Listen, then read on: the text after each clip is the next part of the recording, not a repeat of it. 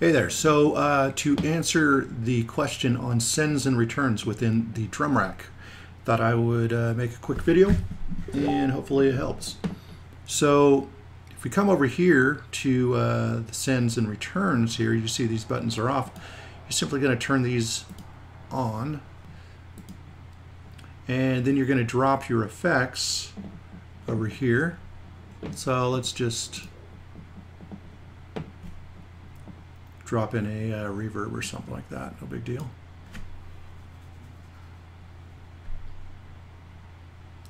All right, and now as you can see, that created one return, right?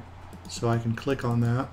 I've got the reverb. I can add more effects to that particular return.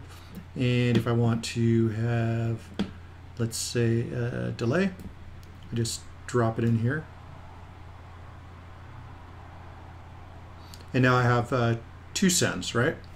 So now what you see, let's just say that slice one here is our kick drum uh, that you use in your uh, section. Now here we go. We're able to just turn up that send here and it leaves all the other slices alone unless you turn them up on those uh, different ones. So that is how you control sends and returns uh, on single slices inside of uh, drum racks. So I hope that helps. Peace.